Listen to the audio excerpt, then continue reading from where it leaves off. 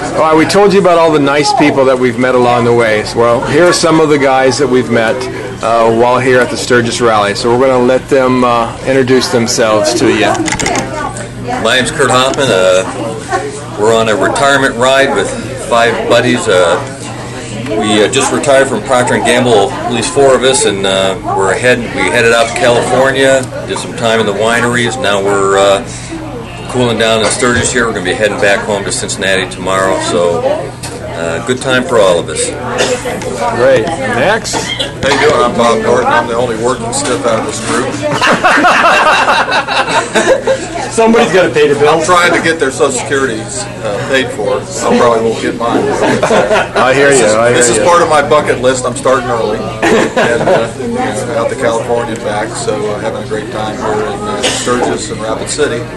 So really enjoying enjoying the time. Excellent. I'm Jim Lewis from Cincinnati also, the group. Uh, enjoyed our time uh, wine tasting in Napa, then uh, ramped it up one more level to uh, Sturgis, and Needles Highway, and Deadwood, Great Bush, and all the sites. Uh, certainly have enjoyed meeting and talking with our victory friends, and uh, wish all of you guys well and uh, safe riding. Excellent. Yeah, by the way, all these guys ride Harleys, but we like them anyway. Nice heart. My name's Mike, Mike Frizzola. I'm from Cincinnati, originally from Boston area. Uh, it's kind of been my job to keep keep these other guys in line. Full time. I'll tell you what. I don't think I'm going to make it. I only got two, three more days, but I don't think I haven't got it in me. I understand. Thank you.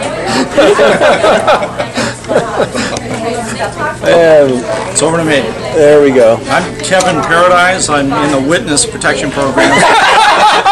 You got one of those. Normally, I don't agree to be photographed.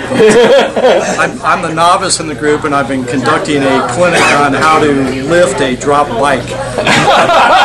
Hey, I, I did that myself. So it's, But uh, it's it's great to meet a group of guys who drink as much as we do. oh God. We're enjoying uh, life and the ride. So good, good seeing you guys. All right. Thank you very much, everyone.